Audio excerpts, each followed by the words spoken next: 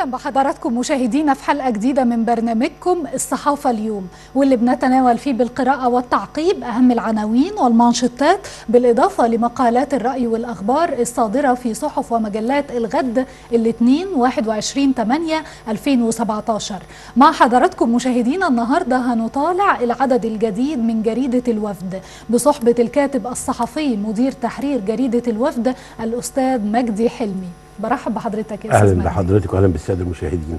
أهلا بحضرتك. يعني الحقيقة أستاذ مجدي معانا موضوعات كتير ومتنوعة منها السياسي والاقتصادي وأيضا فيما يتعلق بالأخبار المحلية كمان هنناقشها مع حضرتك. لكن خلينا مباشرة نروح لصدر الصفحة الثالثة والقمة المصرية الصومالية اللي يمكن تابعناها كلنا النهارده. الخبر بيتحدث حول هذا الموضوع. المانشيت الرئيسي فيه بيقول قمة مصرية صومالية بالقاهرة.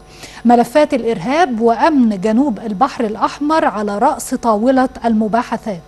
يعني أستاذ مجدي من العناوين نتعرف على التفاصيل من حضرتك. يعني النهارده وصل آه، الرئيس الصومالي في أو يعني الجديد في زيارة للقاهرة وكان آه، وتم إجراء الاستقبال الرسمي. أهمية الزيارة إن إحنا بدينا نرجع للعلاقات الطبيعية المصرية، العمق الطبيعي المصري. لأن استقرار الصومال يساوي نصف الأمن القومي المصري، ضمان نصف ضمان نصف حماية الأمن القومي المصري. لأن الصومال من حيث موقعها على البحر الأحمر هي بتطل على باب المندب على خليج عدن فبالتالي ده جزء مهم في مرور السفن القادمة إلى قناة السويس أو زي أو أو اللي جاية من أوروبا إلى آسيا من على قناة السويس. أهم من أهم المميز الحاجات دي إن كمان الصومال أصبحت مرتع للإرهاب. فيها مجموعات إرهابية منها آه، آه، تنظيم الشباب، منها تنظيم القاعده، منها تنظيم آه، داعش، فبالتالي القضاء على هذه التنظيمات فأنا بقضي على منبع كبير من منابع الإرهاب آه، في الصومال. الصومال ليها مهام ليها مهمة كبيرة عندنا اللي هي كمان مهمة تجارية لأن هي أنت عارفة هي أقدم دولة تعاملت مع مصر من الناحيه التجاريه من أيام بلاد بونت من أيام الملكة حتشبسوت. علاقات تاريخية بتجمع علاقات تاريخية. ممتدة. فبالتالي نحن والشعب الصومالي نحن ودولة الصومال نكاد نكون من أقدم الدول في العالم. فبالتالي هي علاقات قديمة ولا بد من استثمارها طب أستاذ مجدي لو آه، يعني بعدنا شوية عن الحديث حول آه، الصومال تحديدا وبصينا بشكل عام على اهتمام الرئيس عبد الفتاح السيسي في هذه الفترة بدول القارة الإفريقية، كيف تنظر وكيف تقرأ هذا الاهتمام في الوقت الحالي؟ يعني يعني هو ده العمق الطبيعي والاستراتيجي لمصر يعني الصومال جنب الزيارات الزيارة الأخيرة ال- ال- اللي ذهب اللي زار فيها الرئيس السيسي دول في غرب ووسط أفريقيا بجنب الاهتمام إنه يحضر كل القمم الأفريقية الزيارات المتبادلة بينه وبين القادة الأفارقة. ده هو البعد الاستراتيجي ده هو الحماية الأولى لمصر من الناحية الأمنية ومن الناحية الاقتصادية.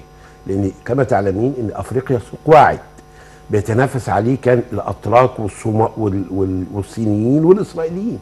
وإحنا خرجنا منه بإرادتنا الحرة في التسعينات يعني نهاية التسعينات وبدايه نهاية الثمانينات وبداية التسعينات لأن إحنا كنا ملخومين في حرب ضد الإرهاب. فتركنا أفريقيا فريسة سهلة في يد إسرائيل ال الصينيين. فإحنا لما نرجع لأفريقيا نحن الامتداد الطبيعي ما فيش يعني ما فيش فواصل بحرية. إحنا طبيعة أرض أرض يعني سهلة التنقل سهل نبعت بضاعتنا سهل نروح ونيجي فبالتالي هي محتاجة فقط إرادة سياسية. وفي البرنامج ده قبل كده منذ سنوات قلت إن إحنا محتاجين إرادة سياسية. الإرادة السياسية توفرت في الرئيس عبد الفتاح السيسي. فبالتالي من المهم جدا أن نستثمر كل هذه العلاقات اللي بيبنيها الرئيس عبد الفتاح السيسي في مجالين مهمين. الأمن ضمان الأمن القومي المصري. اثنين أن نفتح أسواق الواعدة للمنتجات المصرية. بس ده بيلقي علينا عبء على المنتج المصري. انه يهتم بجودة المنتج لأن كما تعلمين إن سمعة المنتج المصري أصبحت مش ولا بد مش على المستوى مش موافقة للمعايير الدولية. لما أصدر أنا كمصري لدولة أفريقية قدامي منافسة ما بين منتج صيني ومنتج تركي ومنتج إسرائيلي. فبالتالي لابد أن أتفوق معه عليهم في كل في معايير الجودة بتاعت كل هذه المنتجات. ده لأن كل الزيارات اللي بيعملها السيسي ستذهب هذا هدر هدرا إذ لم يتم الاعتناء بالمنتج المصري. يعني مطلوب من المنتجين المصريين رجال الأعمال المصريين الاهتمام بسمعة مصر في إنتاجهم. نعم. طيب من الصفحة الثالثة هنروح مع حضراتكم للصفحة الأولى. الحقيقة فيها تحقيق مهم جدا حول أزمات السكك الحديدية والقطارات. خلينا نقرأ هذا التحقيق. العنوان الرئيسي فيه بيقول الفوضى تضرب السكة الحديد.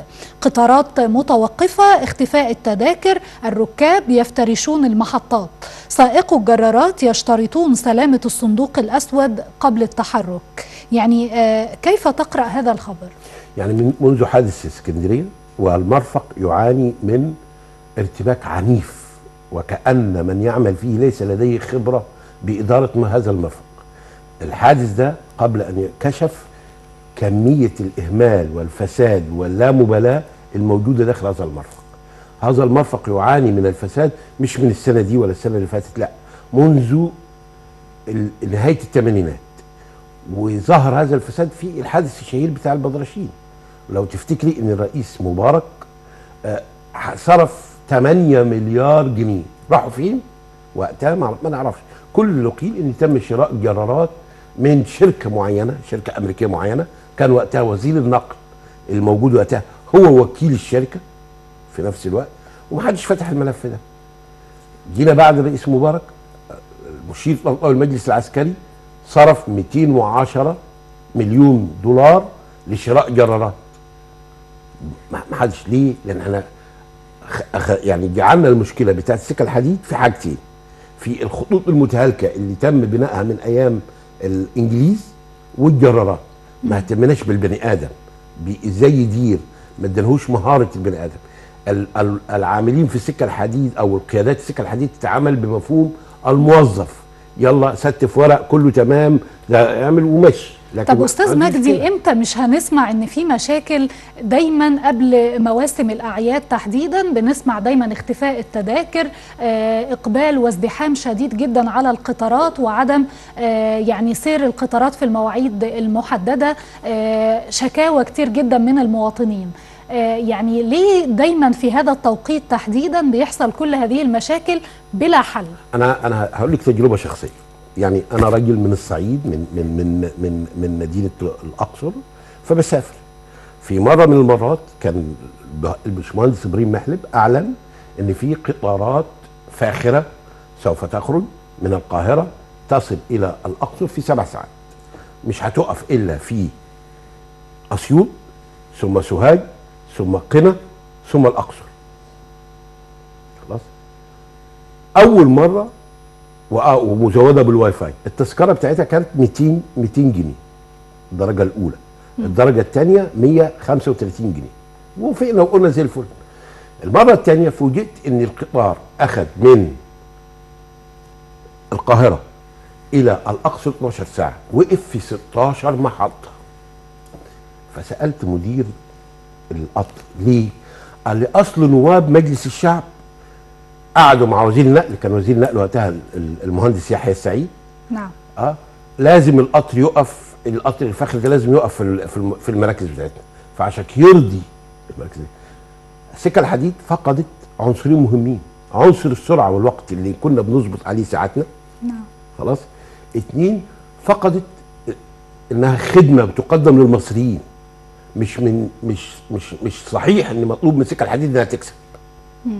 مش مطلوب مش صحيح.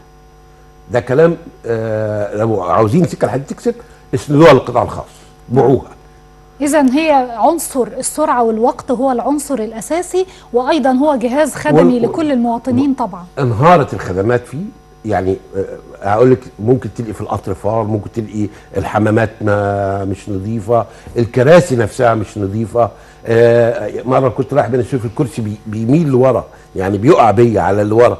فدي ما- بقيش مرفق. هذا أصبح أشبه بالخرابة. فبت... إحنا بنعاني اللي إحنا اللي, بي... اللي بيرتدي السكه الحديد مين؟ هم سكان الصعيد. سكان وجه بحري خلاص. تخلوا عن ال- القطرة ما فيش حد بيركب. لكن لا زال بيروحوا بالسكة الحديد خصوصا فرجعنا تاني نروح لشركات الاتوبيسات القطاع الخاص. فالاتوبيسات القطاع الخاص أضمن لي من السكه الحديد خصوصا في الالتزام في الوقت والخدمة اللي بتقدم ليها بنفس السعر بتاع السكه الحديد بالعكس السكه الحديد أغلى كمان نعم. منه. فالسكه الحديد هي نموذج حي للفساد.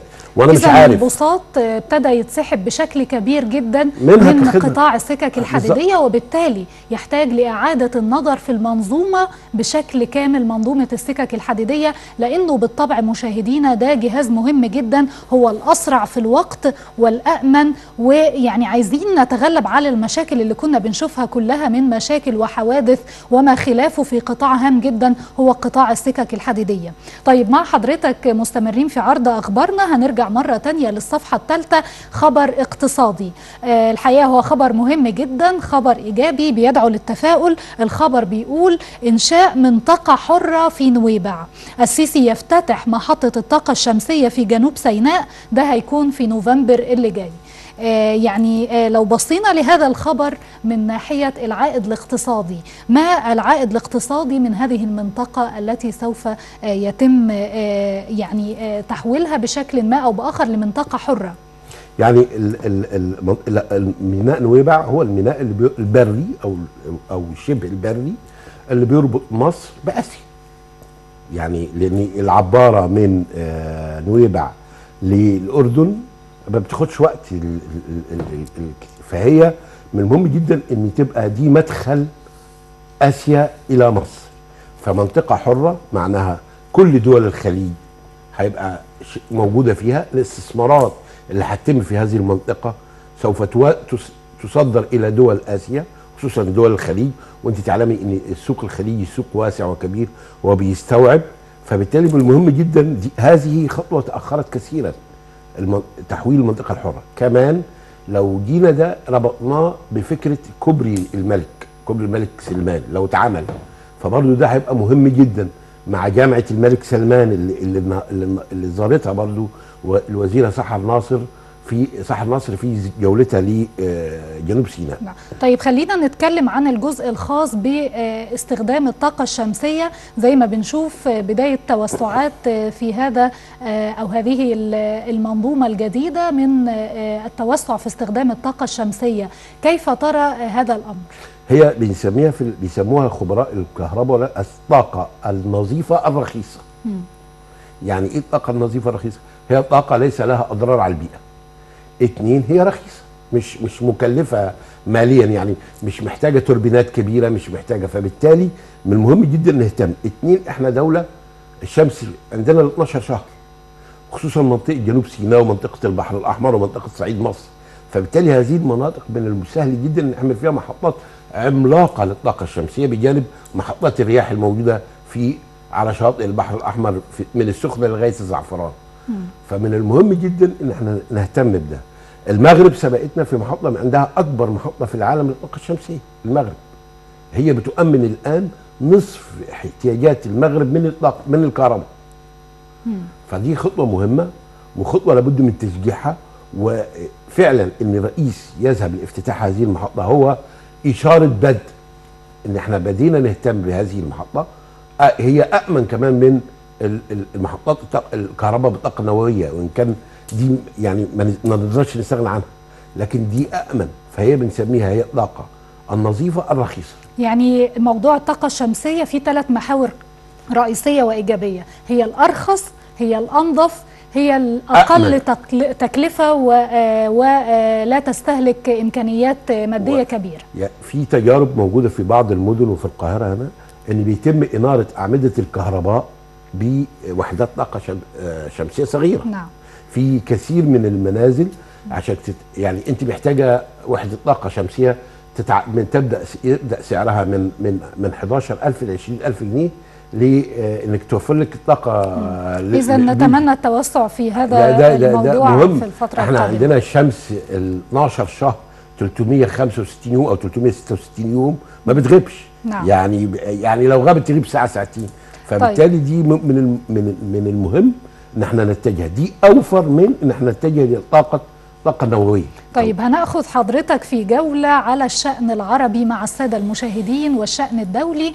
هنروح مباشرة للصفحة الخامسة والحقيقة الخبر اللي معانا بيقول على نفقته الخاصة الحج هدية العاهل السعودي للقطريين وأسر شهداء مصر وفلسطين. آه يعني لو بصينا لطبيعة العلاقات اللي بتجمع بين الدولتين السعودية وقطر كيف تقرأ هذه العلاقات في الوقت الحالي؟ لا يعني قطر في أزمة.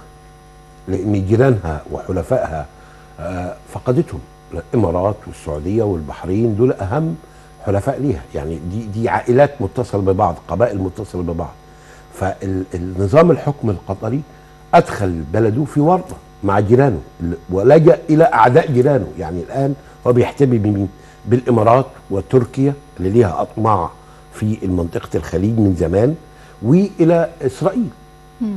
فبالتالي هو لجأ للأعداء التاريخيين للمنطقة العربية. ف وال- واللي هم اليوم أطمع فهو أدخل آه، بلد في ورطة أصبح يمثل تهديد مباشر للأمن القومي السعودي. تهديد مباشر للأمن القومي السعودي والدولة والأمن القومي الإماراتي يعني بالتبعية تهديد مباشر لأمن القومي العربي كله وعلى رأسه الأمن القومي المصري. يعني النهارده إحنا بنتكلم على الأمن القومي بكتير. إحنا عايزين بقى نبص للناحية التانية لكن يعني عايزين نفسر يعني إيه ال- السعودية أعطت آه، الحج هذا الموسم هدية للقطريين؟ هي هي رسالة من الملك سلمان. يعني أنا شخصيا بوجه الشكر ليه على قراره باستضافة أسر ألف آه، شهيد آه، من شهداء الإرهاب على نفقته شهداء فلسطين. كمان هو عاوز يقول للشعب القطري إن الخلاف مش مع الشعب القطري. الخلاف مع من يحكم قطر. ومن يحكم قطر مش الأمير تميم في أشخاص آخرين بيحكموا قطر. التنظيم الدولي للإخوان المسلمين هو الذي يحكم قطر. ويحكم تركيا بالمناسبة. يعني أردوغان أداة في يد التنظيم الدولي للإخوان المسلمين. ما يغركيش المنظر اللي بيطلع بيه ويهدد أمريكا ويهدد ألمانيا هو واحد من أعضاء التنظيم الدولي للإخوان المسلمين. فالتنظيم الدولي للاخوان المسلمين هو الذي يحكم قطر هو الذي يحكم تركيا هو المتعاون مع إيران. وخلي وده تربطي بايه أول زيارة قام بها رئيس مصري إلى إيران كان مين؟ مم. كان الرئيس إخواني محمد مرسي. نعم. حتى لما شوهوا له الخطاب بتاعه وكان بيتكلم على سوريا فيحولوا كلامه في الترجمة على البحرين ما انزعجش ما حصلش انزعاج. كأنهم متفق كانوا في اتفاق بينهم. طيب خلينا نتطرق أيضا للشأن المحلي الخاص بمصر ونروح مشاهدينا للصفحة الثانية ونقرأ هذا الموضوع اللي أفردت له الجريدة آه، مساحة كبيرة كل عام وحضراتكم بألف خير مشاهدينا ونحن على مشارف عيد الأضحى المبارك. هذا الخبر بيقول كساد في سوق خمسة ألاف جنيه للخروف و150 جنيه لكيلو الضأن بالعظم.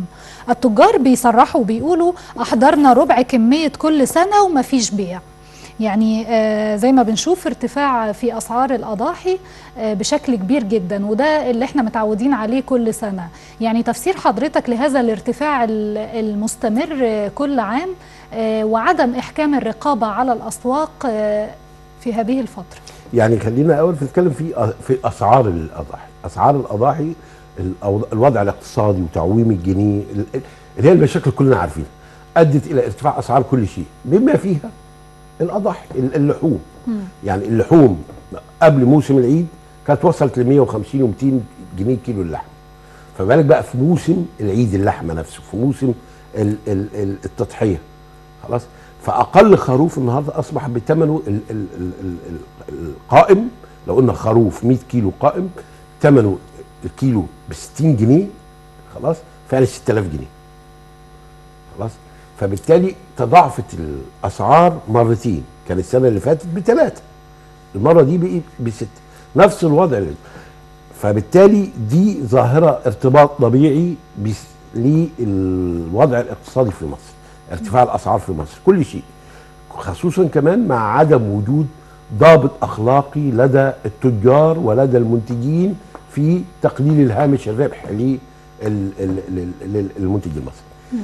آه طبعا التجار لازم يجيبوا آه، ربع الكمية اللي هم عارفين اللي بي... إيه اللي هيحصل. فعشان كده مهم جدا إن إحنا لما نيجي نتكلم نربط ده بالوضع العام للبلد نفسه. إذا هو تدرج طبيعي للأوضاع الاقتصادية اللي بتمر حالة بيها طبيعية طبيعية. وارتفاع الأسعار اللي بتمر بيه البلد. بشكر الكاتب الصحفي مدير تحرير جريدة الوفد الأستاذ مجدي حلمي. شرفتنا يا فندم. ان شاء الله أهلا بيكي واهلا بالسادة المشاهدين. أهلا بحضرتك ومشاهدينا. كل الشكر لحضراتكم. واستنونا غدا بإذن الله. وحلقة جديدة من الصحافة اليوم. إلى اللقاء.